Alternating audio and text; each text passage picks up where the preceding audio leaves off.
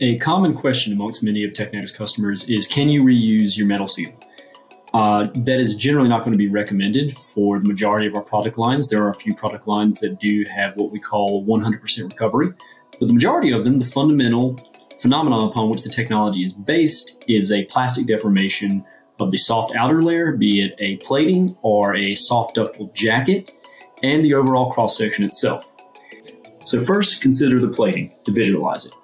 You take a given seal, illustrated here, let's say we're looking at one of our O-Flex designs.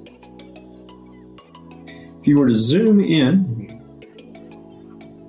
if you were to zoom in at the interface between the flange and the seal, you'll see that there's going to be a recommended surface finish called out this is going to be a circumferential lay, a directional lay that has, uh, at this level of, at a zoomed in level, will appear as something biting into the soft outer layer of the seal. So if this is a plated product, this is going to be your silver plating or your nickel plating, and it will permanently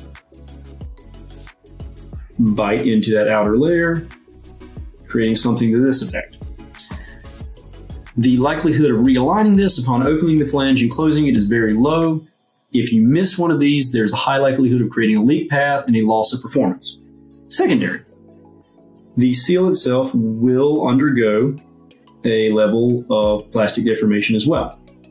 So illustrated here, you'll see a slight a ovalization of the shape. This is again based on the prescribed amount of compression of the seal. So you will be imparting a level of stress and strain plastic strain taking part in the seal, creating this permanent ovalized shape. So this seal, if pulled out of this flange, will take on a permanent ovalized shape. So again, seeing here, if we draw a flange, you'll find that the seal is not going to be, assuming this was its original height, will be somewhere down here. One thing to consider though is that the seal is not entirely dead. There is an amount of semi-dynamic behavior to the seal that allows a technetic seal to follow a flange as it moves in an axial manner.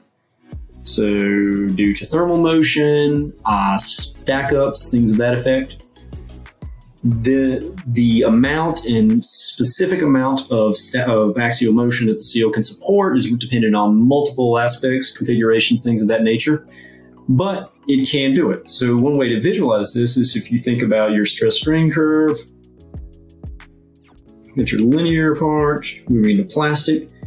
The overall Technetic seal and Technetic product lives somewhere about here, where if you were to pull, again, view it from, pull the seal out in an ovalized manner, you would see that once it's compressed and fully seated, there is going to be a level of motion that can occur, where the seal can move up and down ever so slightly to follow this.